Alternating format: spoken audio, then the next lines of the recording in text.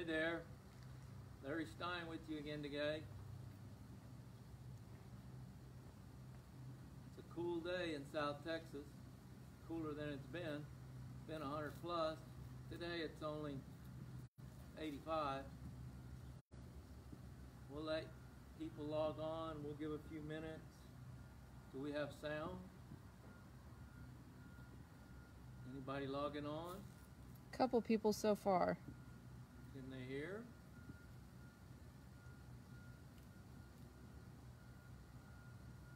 Anything in the chat? Not yet.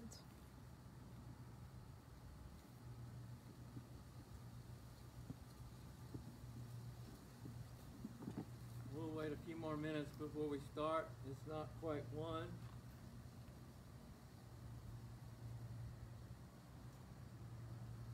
We still have people logging on?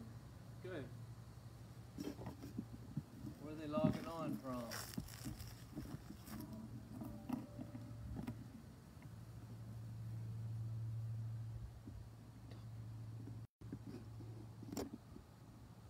Sound is good? Might need to speak up a little bit. Oh, microphone working?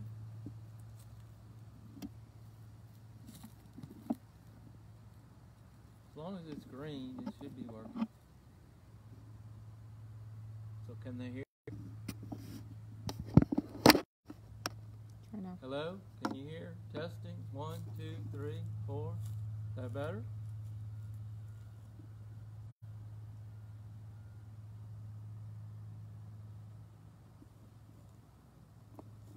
Okay, they say it's a little bit better. Okay, good, good. All right, we'll wait one more minute before we start. One o'clock. We'll start here in a second.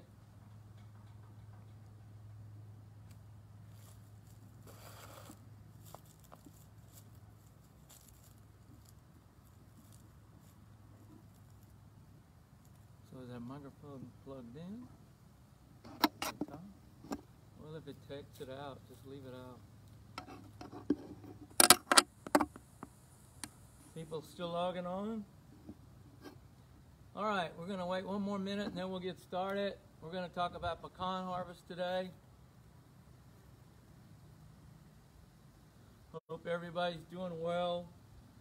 Hope you got some rain with the cold front. All we got was a bunch of dust.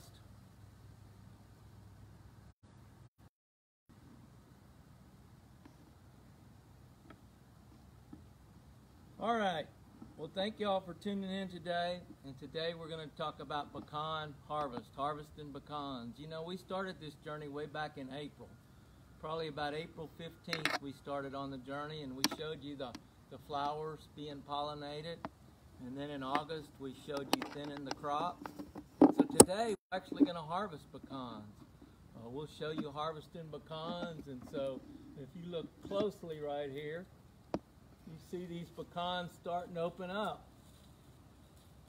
See how the shucks, so the sutures have opened up, so these pecans are starting to open up. And so now it's time to get these pecans out of the tree.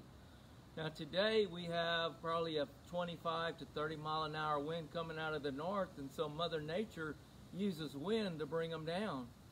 And so the ideal situation is to wait till the pecans get like this right here, where you see how the shucks are totally dry. The shucks are totally dry, so when you shake the tree or knock the pecans out, they come right out. And so, you know, they come off like so, like that right there. And so if we were all fortunate enough to be able to wait that long, that would be an ideal system. But a lot of people, when they get to this stage right here, is they'll just go ahead and pick them out of the tree which is no problem. So you can pick them out. You can pick the nuts right out of the. See how the shells are totally brown? That means they're totally filled out. And so what you can do is you can put them in a.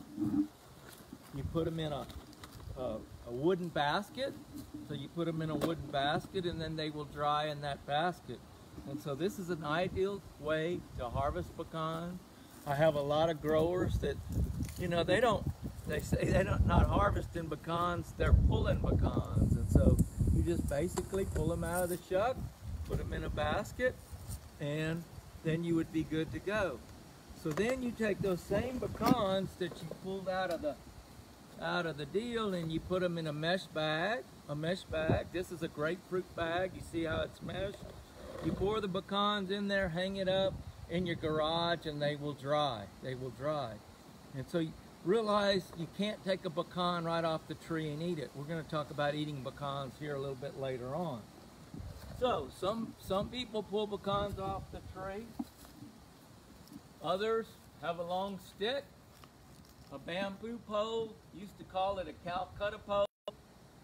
My daddy and his grandpa used sycamore trees.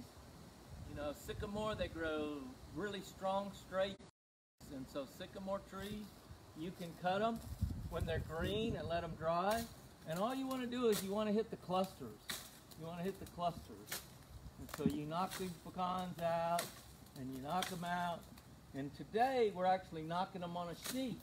So you can knock them on a sheet. Actually, we're using a shade cloth today. And so it works really well. You can do that. Now realize when you do these pecans like that, uh, you're going to get some that don't open up. You're going to get some that don't open up. Well, this one went ahead and opened up. But when you have these green shucks like this and you mess with them, notice you're going to get stains on your hands. And so there's a lot of people that freak out when you get a few stains on your hands, but they wear off right quick. My grandma used to tell my daddy not everybody was fortunate enough to have stains on their hands when they uh, went to school.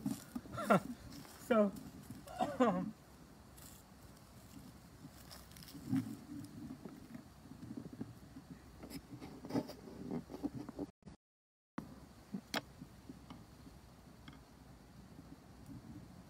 So some people today use gloves. They use gloves. And so we have these gloves that you put on your hands and they work really well. So anyway, you can knock some pecans out of the tree. What we're going to do now is we're going to show you shaking the tree. We're actually going to show you shaking the tree. And you're going to see that not all of them come down, but let me show you shaking the tree so you can get an idea of that.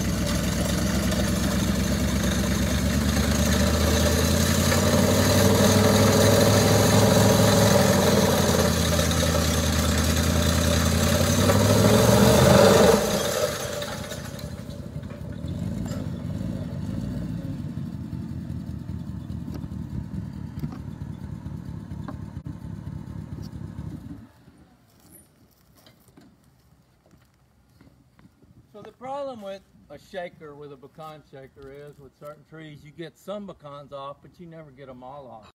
So there's a lot of people that will come in with a stick and knock off the ones on the lower branches. But as we walk, walk along, see all the sticks that we get? You get a lot of sticks, you get a lot of shucks that don't open up. So like here's a pecan that didn't open up. This pecan is never gonna open on the tree. Here is another one that didn't open up. Well, actually it did, so it, it's opening up. So when you shake the tree, you get leaves, you get pecans, you get sticks, and so to have some way of separating those out. And so commercially, we actually have a cleaner. We have cleaners that can be used.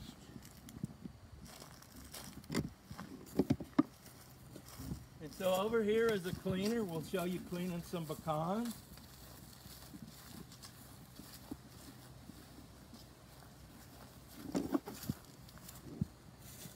And so notice when you look at these pecans, you get some when you have them on the sheet that are not any good. And so you got to pick these out. Some of y'all may remember I Love Lucy shows. And I Love Lucy, she, she did all kind of crazy stuff. But one time they showed her in a candy factory. And so these pecans are coming. The candy was coming and she couldn't get the bad ones out fast enough. And so we'll show you this running here. But you have to have some kind of people picking the bad ones out. You always get a few that crack, so you throw those out. The cracks typically go out. And so that is the deal there. So let me turn this on and we'll show you how this particular instrument works. What happens is the pecans come up over an air leg. There's a fan blowing and that fan blows the light ones out.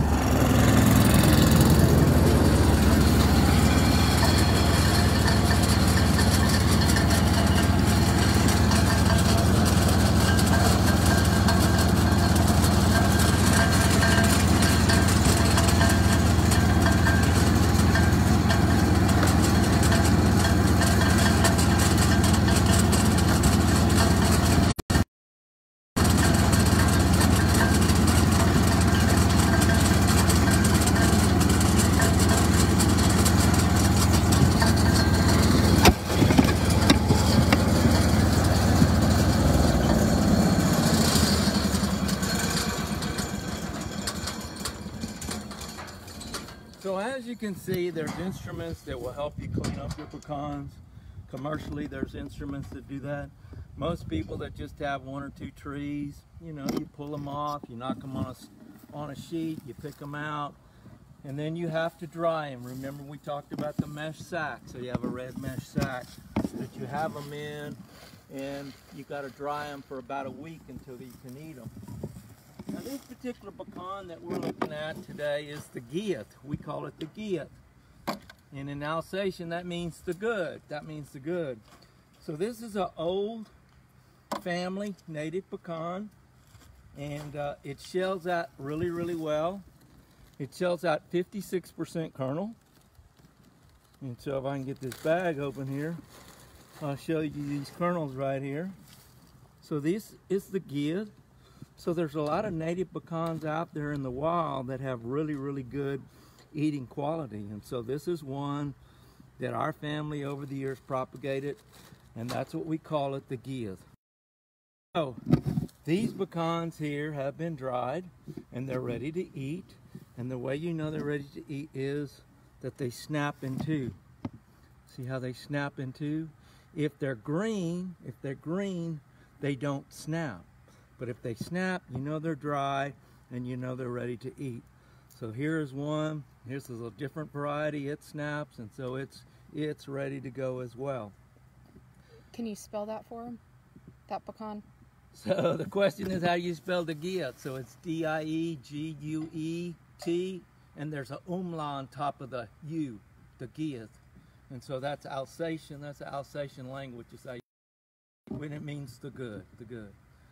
So I would encourage you to buy some pecans this year. Eating pecans, pecan, eating pecans is healthy, especially if you eat them like this right here.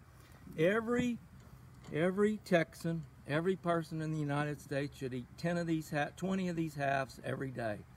And if you do that, that it helps lower your bad cholesterol, doesn't lower your good cholesterol, and actually helps provide your body with antioxidants and so I would encourage you to really eat a lot of pecans and so they can be really good. Good news about the crop this year is it's it's moderate in size but quality is outstanding. So I would encourage you if you like pecans go ahead and get some in the next few weeks and you should be good to go. Any questions?